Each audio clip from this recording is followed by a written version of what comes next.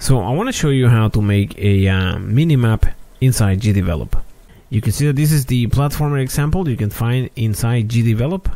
Okay, we are going to transform this into a mini map. Alright guys, you can download this example from the link down below. It's under the uh, website. You can pay for the example or you can download it for free. Alright, so go ahead and download the example. The link is down below. Uh, so let's go to the events and uh, you can see that uh, I have disabled um, scrolling. The only object I added uh, was this uh, dot here which is practically a clone of this here. Doesn't really matter. And this object here okay which is just a picture. Okay so what we're gonna do is uh, we're gonna set the uh, x position of the this object equals the x position of the um, player hitbox. Let's do that now uh, we're gonna take the um, um, position x position x position of the dot will be equals the x position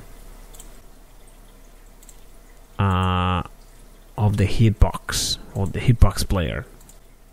Okay. So let's see what that looks like not too bad. Not too bad. Let me uh, place this here.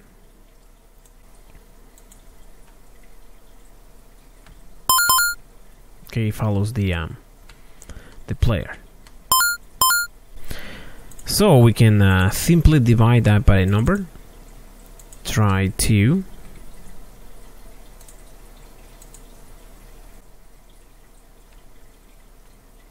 Okay, that kind of works. I think it's going to have to be like five or six or something. Try, try, try six. That's five. Divided by six. Okay, and it moves a lot slower now. And uh, six seems to work fine. Okay. Um.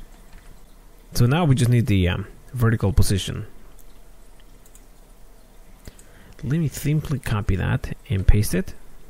Replace that for the y. And replace this by the y as well. Position. Y position. And uh, I got to delete this one here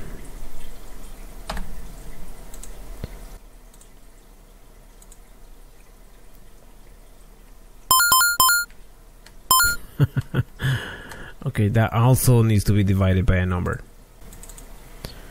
Try divided by 6 as well.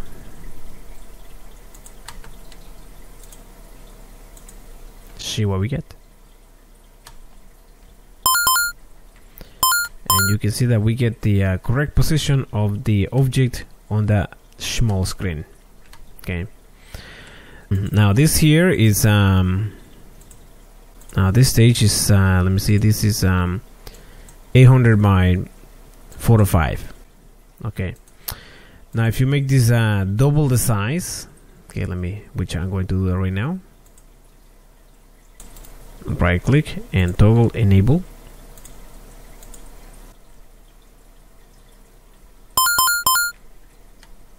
Okay. So we probably want to set this on his own layer. Okay let's do that now layers add new layer. Call this a map.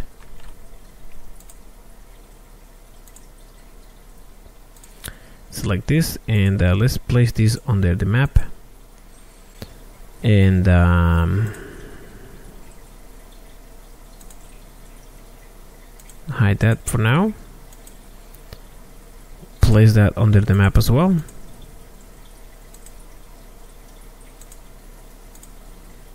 try it out.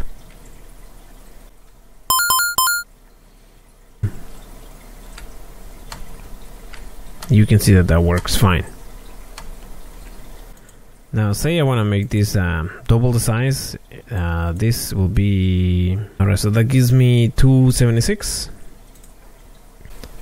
And um, let me make this um, 1600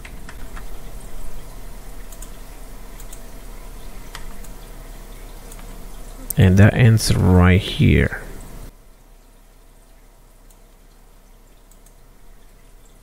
Okay.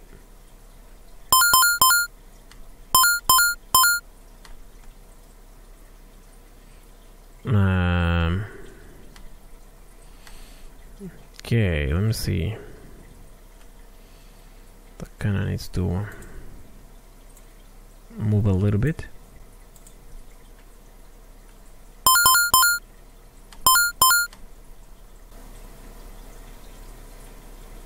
I think it's close enough. We're off by one pixel, I think.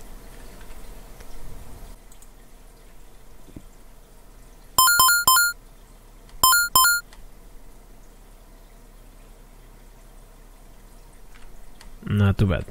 Okay. So now we set this back to um, whatever. Window width back to 800.